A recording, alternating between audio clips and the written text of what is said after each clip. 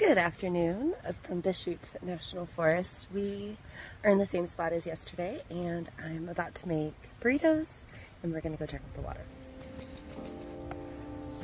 Cheers. Oh, oh